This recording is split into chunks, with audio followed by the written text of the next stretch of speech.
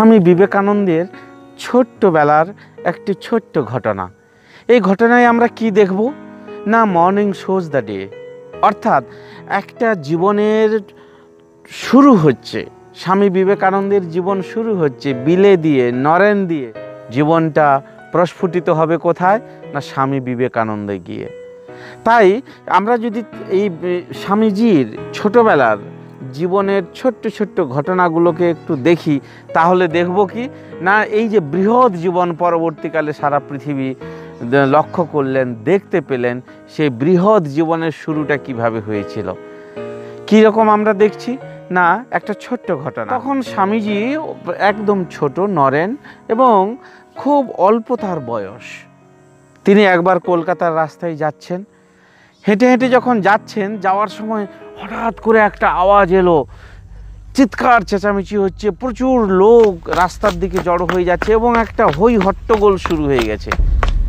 তো নরেন তখন কি করলেন? সঙ্গে সঙ্গে যেখানে গন্ডগোল হচ্ছে একটু গিয়ে দেখলেন। দেখলেন কি? সর্বনাশ! একটা ঘোড়ার গাড়ি সবে গিয়ে অত্যন্ত দ্রুত বেগে ছুটে আসছে এবং সেখানে ওই ঘোড়ার গাড়িতে একজন মহিলা বসে আছেন অসহায় হয়ে। ঘোড়া যে কোনো কারণে, যে কোনো কারণে ঘোড়া ভয় পেয়ে গেছে এবং ভয়ে ও ছুটতে শুরু করেছে। এবং ঘোড়া প্রাণপ্রাণে ছুটছে আর যে ভদ্রমহিলা ওই ঘোড়ার গাড়িতে বসে আছেন, তিনিও এই মনে হয় যেন পড়ে যাবেন এবং প্রাণ সংশয় পর্যন্ত হতে হবে। সকলেই চিৎকার করছেন, সকলেই বলছেন, গেল গেল গেল। কিন্তু কেউ আর এগিয়ে আসছে না সাহায্য করার জন্য। তো নরেন নিমেষের মধ্যে ব্যাপারটা বুঝে গেলেন যে বড় কিছু বিপদ একটা ঘটতে চলেছে। তিনি সঙ্গে সঙ্গে কি করলেন? না, ওই ঘোড়ার দিকে ছুটে গেলেন অত্যন্ত সাহস করে। গিয়ে ক্ষিপ্র গতিতে ছুটে গিয়ে ঘোড়ার যে লাগামটা ছিল, সেই লাগামটিকে ধরলেন এবং ঘোড়ার সঙ্গে সঙ্গে ওই তিনিও কিছুটা ছুটে গেলেন ওই লাগামটি ধরে। তার তখন বয়স খুবই কম এবং লাগামটি যেই নরেন ধরতে পেরেছেন। এই অল্প বয়সে তিনি যে লাগামটিকে খিঁচ দিচ্ছেন, খিচে রেখেছেন, সঙ্গে সঙ্গে কিছুক্ষণ পরে ঘোড়াটি দেখা গেল কি? না, স্থির হয়ে দাঁড়িয়ে গেল। তখন প্রচুর লোক ছুটে এসেছে। এসে দেখছে কি? না, ঘোড়া দাঁড়িয়ে গেছে। সকলেই যেন হাঁপ ছেড়ে বাঁচলো। একটি প্রাণ বাঁচলো, অনেকের প্রাণ বাঁচলো। ওই ভদ্রমহিলা হয়তো পড়েই যেত।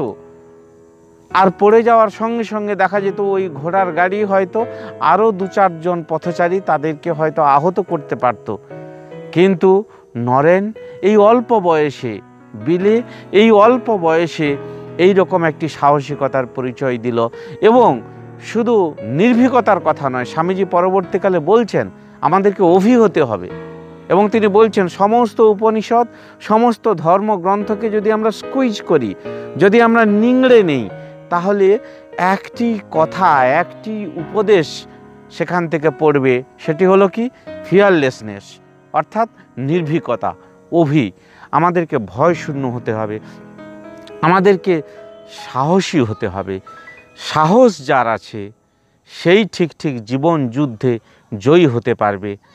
আমাদেরকে প্রচুর প্রচুর পরিমাণে সাহসী হতে হবে। আমাদের এই চ্যানেলের নাম তোমরা অনেকেই জেনে গেছো যে be good do good life তো এই চ্যানেলের উদ্দেশ্য হচ্ছে সারা পৃথিবীর যত মহাপুরুষ রয়েছেন, সেই সমস্ত মহাপুরুষদের জীবনী, তাদের উপদেশ, তাদের জীবনের ঘটনা আমরা বলার চেষ্টা করব, আমরা সকলের কাছে পৌঁছে দেওয়ার চেষ্টা এই যত ভিডিও তোমরা দেখছ আরও অনেক ভিডিও আসবে, এই সমস্ত ভিডিওগুলোকে তোমরা ভালো করে দেখো লাইক করো কমেন্ট করো। কেন তোমাদের কমেন্ট কিন্তু আমাদের কাছে অনেক মূল্যবান। আমাদেরকে আরও এগিয়ে নিয়ে যেতে আরও ত্রুটিমুক্ত করতে সাহায্য করবে। তোমরা লাইক করবে ভিডিওগুলোকে কমেন্ট করবে এবং নিশ্চয়ই অবশ্যই তোমরা সাবস্ক্রাইব করবে।